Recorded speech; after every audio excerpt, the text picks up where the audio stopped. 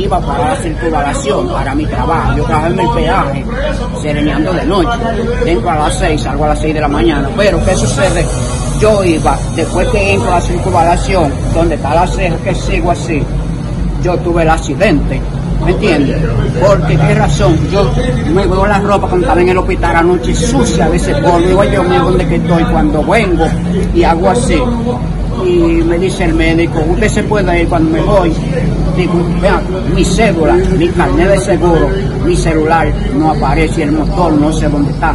Entonces yo estoy averiguando, vine aquí para saber si mi motor estaba aquí o allí, no sé qué pasó. ¿Qué tipo de motor Un es? Suzuki. ¿De qué color? negro. Me levanté ahora y estoy averiguando a ver, a ver, porque era ayer domingo y todavía nadie me ha dicho dónde está el motor.